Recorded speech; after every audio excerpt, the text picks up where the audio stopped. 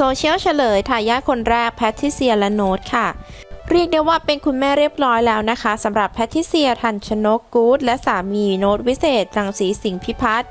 ซึ่งทั้งคู่นั้นก็ตื่นเต้นกันสุดๆค่ะ ที่กำลังจะมีทายาทคนแรกด้วยกัน แล้วว่าที่คุณแม่แพทริเซียก็ดูสวยขึ้นมากๆ จนชาวโซเชียลต่างก็พากันเดาว่า จะได้ลูกสาวหรือลูกชายค่ะ หลังจากมีผู้ใช้ TikTok รายหนึ่งโพสต์คลิประบุว่า มาทายกันว่าจะเป็นผู้หญิงหรือผู้ชาย นี่คิดว่าเป็นผู้หญิง เพราะว่าน้องหน้าสวยมาก นับวันรอแล้วนะคะ จะได้เจอหน้าหลานแล้ว กินเยอะๆนะหนู น้องบอกว่าแพ้ท้องแค่รอบเดียว คนอื่นเขาอยากกินของเปรี้ยว แต่น้องแพ้ท้องอยากแต่กินของหวาน เอ็นดูน่ารักรักที่สุด หลังจากนั้นชาวโซเชียลก็เริ่มทำงานทันทีเลยค่ะ ผู้ชายจ้ะถ้าชอบของหวานแบบนี้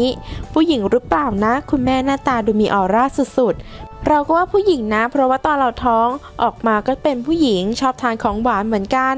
นี่ไม่ทานของเปรี้ยวทานแต่ขนมผลไม้ ได้ลูกชายทั้งสองคนเลยค่ะเรียกได้ว่างานนี้ก็มีผู้คนเดาไปกันต่างๆ นานา ไม่ว่าจะเป็นชายหรือหญิง เราก็ต้องมารอลุ้นกันค่ะ สำหรับวันนี้ขอบคุณหลังข้อมูลข่าวจากทางสยามนิวส์ด้วยนะคะ และเพื่อไม่ให้พลาดทุกๆข่าวกอสิบดารา อย่าลืมกดติดตามเพื่อรับชมคลิปใหม่ๆทุกวันได้ที่ ช่องดารากอสิบขอบคุณทุกท่านสำหรับการรับชมและติดตามค่ะ